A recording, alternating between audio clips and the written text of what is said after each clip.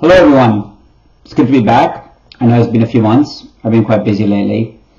Had all kinds of things going on. I've been busy trying to develop my projects. I'll talk a little bit about them later. But I also had back surgery, which was unexpected. I guess it just shows goes to show we're all getting a little bit older. Um, I am recovering, so that's good. I just didn't expect to have that kind of surgery at this age, but here we are. Anyway, I want to talk today about energy transition. This is something that has had a lot of hype over the last few years. I hope the hype is peaked, but I'm not naive enough to think that it has peaked completely and it might come back again. But it is time that we really understand the implications of all this hype. See, energy transition is something that mankind has been doing since, you know, the dawn of civilization, I guess. Uh, over 150 years ago, we went from solid fuels to coal, and then we went from coal to oil, and oil to gas, and now we may be transitioning to something else. The key message is that, that the transitions take decades and decades.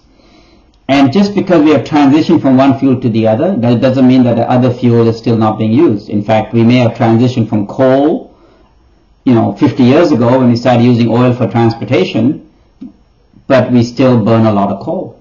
And in fact, last year we had record amount of coal being used. So the message is energy transitions take a long, long time and especially when we're going into new forms of energy, new forms of energy that don't have the same characteristics of the old forms of energy. In the past, we transitioned from one form of energy to the other, but all the energy could be stored. We could store coal, we could store gas, we could store oil, and we could store solid fuels. Now we're talking about transitioning to energy that cannot easily be stored. And that's really the key, because without storage, that means we cannot transport it very easily either. Without storage and transportation, we really make it very hard for that energy, that new energy, to completely replace the energy that we think we're going to replace. Energy has to be available, affordable, and acceptable. Out of these three things, availability is the key.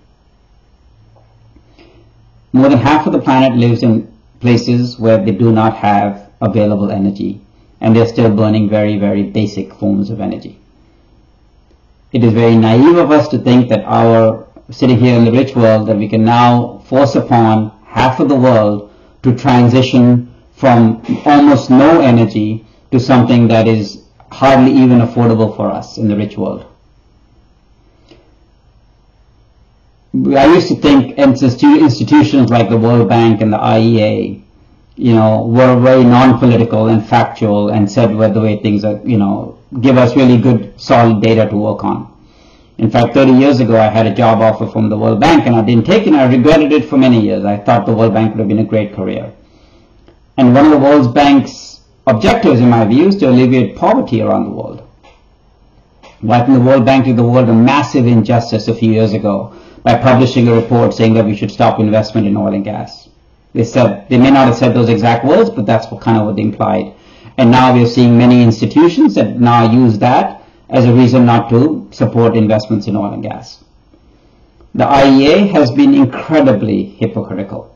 From the age of natural gas, that they, the you know the golden age of natural gas, they said five years ago, they've suddenly gone to natural gas as the enemy, and they're now hyping all kinds of transition fuels that are just not realistically going to happen in the time frame they do. The world still gets 99% of all its hydrogen from very basic forms of energy, such as coal and natural gas. To make hydrogen clean, you have to get it from clean energy, such as renewable power. Well, renewable power is hardly available in many parts of the world. And to think that now we're going to transition and change our gas grids around the world and force people to start using hydrogen, when that 99% of hydrogen literally comes from natural gas and coal, and it's suddenly going to come from electrolyzers and, and green energy is very, very naive. When we have a long way to go. The world doesn't produce enough electrolyzers. If we have that much clean energy where we need it, we should burn the clean energy. We shouldn't classify hydrogen produced from nuclear as being a good thing. If we have nuclear, that means you have no intermittency, you have clean, cheap power, you have continuous power, use that as opposed to using that uh, nuclear and then use, uh, wasting 30, 40, 50% of it to make hydrogen and then somehow figuring out how to transport hydrogen, which has to transport in liquefied form at a minus 253 degrees. This is just crazy stuff. But I've seen it taking over very seemingly, you know, big organizations that should know better. I was talking to an organization the other day that whose sole business is LNG, who now says that they have to have some other low carbon story with any of their investments. They have no experience in any other investments, but now they need to weave a low carbon story along with the, any LNG investments that they do. It's not a zero sum game. We should let energy investments continue wherever energy investments need to go. We shouldn't force the large energy companies that are very good at producing oil and gas to then stop producing oil and gas. Let them produce oil and gas and you're welcome to invest in companies that produce other forms of energy and healthy competition is good for everybody. But it's wrong for us as shareholders of large corporations say to demand that they stop producing this fuel and that's all they can do. And that's all they are good at. And the world still needs that fuel. Because if they stop producing it, the production reduces and it falls in the hands of less and less people. And that's not good for mankind because mankind needs a lot more energy. Yes, we don't like to use coal because it's dirty, absolutely. But if the choice is dirty coal or no electricity at all and freezing in the dark, what are your options? I was in India a few months ago and I was surprised how polluted the air was because they were burning coal because gas was expensive. Now gas has got cheaper again and they're going to go back to burning gas. But at the end of the day, we cannot deprive the world of energy that it needs. And what's distressing is the fact that this has permeated throughout all kinds of organizations. I'm trying to raise money for an LNG project. Now LNG to me is still the ultimate transition fuel. It can be easily be transported. We have infrastructure in 50 countries. Everywhere that has a coastline is looking at either importing LNG or exporting LNG at some form or the other, especially in most of the world that can afford it. But now we're making it very, very difficult to get financing. By making it difficult to get financing and stopping banks from investing in, in LNG projects, all we are doing is forcing a large part of the world not to have energy at all. Because then LNG only goes to the richest customers, and the poor customers will then have to go back to burning coal or cow dung or whatever they have to burn. So these, everything has implications. Yes, energy transition is something we should be looking at. Yes, energy transition is good. Yes, we should reduce our carbon intensity of the world's economies. But no, we shouldn't stop investing in transition fuels such as LNG and gas. We need these, these fuels to then help support the grid. For every megawatt of renewable power that you do, you need to have backup power because the sun doesn't shine, the wind doesn't blow, etc., etc. We are making it incredibly hard to build that backup power. We all know it's very hard to build transmission lines. It's hard to build gas pipelines. It's hard to find labor to do any of these things. But yet naively, we're shutting down what we already have and asking our companies to shut down what we have and we're not supporting the expansion of what we have to even continue with the basic energy requirements the world needs. So I guess the message here is we need to, yes, go right ahead and invest in projects, all types of energy projects. Ideally, don't take it all. A project should not be based solely, the economics of a project should not be based solely on government subsidies. A lot of these projects, hydrogen, ammonia, etc., etc., even offshore wind, are based on having government subsidies indefinitely. That cannot be good for the world economy. Yes, you might need subsidies to get things kicked off, but you need to stop them very quickly. We need to invest in all types of energy, and yet overall we should be reducing the energy intensity of our economies.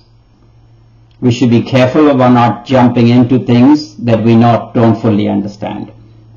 I would venture to say that most people who are talking about carbon storage have no idea what they're talking about. I'm a geophysicist by profession. I have studied carbon storage. I have studied the world's rocks for many, many years. It's not that simple to just take carbon and put it in the ground. It's very difficult to, it's, it's easier to do that if it's pre-combustion, such as in a gas plant, but much harder to do that post-combustion, such as in a power station. It's very difficult to do that for coal, to remove carbon from coal. especially because that's what burns in the power station. And it's not going to be a panacea.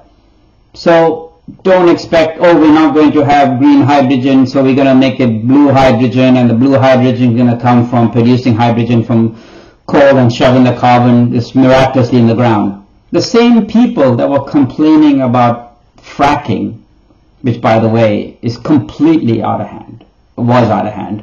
That was a big thing that everybody jumped on. And in the end of the day, America, I would venture 60, 70, 80% of its gas production now comes from frack gas, and the environmental impact is minimal.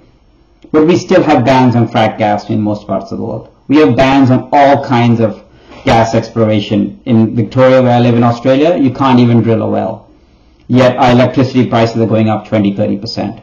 And we can't build power lines to build the renewable in and the government thinks that it's going to build seven farm offshore farms of 100 windmills each in the most roughest seas of the world on the Bass Strait here, and it's all going to miraculously happen very easily. So yes, we should look at energy transition. We should continue investing in, in the new technologies, but don't make them completely dependent on government handouts. And let the companies that want to invest in them invest in them, but don't stop other companies, legacy energy companies, to invest in what they do best, which is producing energy that's affordable, available, and acceptable. So, the end of the day, I guess I'm saying all this with a bit of frustration because I'm trying to raise money for my new LNG project. I think it's a great project. I think it has a lot of legs. I think the world needs more LNG. We don't have enough coming from the US. We don't have enough coming from other places for the demand that we need. We don't have a lot of new projects. There's no new project in the FERC system since 2019. I hope to be that new project. But we need investors. And I've talked to so many people who just say we can't invest in oil and gas anymore. And I think that's very naive. It's good to see a little bit of movement recently on some US uh, contracts. Maybe some FIDs will finally happen, but not enough. We need a lot more FIDs to happen. I know FIDs aren't happening because costs have gone up and the prices are low, but the customers are willing to pay for the price of energy. They're willing to pay for green hydrogen, for God's sake, they're willing to pay for low carbon LNG. So we need investors to continue investing in all forms of energy. And the less restrictions we have, the better. We should have permitting uh, clarity and transparency around the world so we know what we're doing. And we shouldn't have government politicians decide which forms of energy are best. Let the market decide and if there is a carbon penalty for dirtier forms, then so be it. But we need to have more energy overall and not limit energy. Otherwise, we're all going to be literally freezing in the dark. Hope that was fun. Thank you very much. Appreciate your time.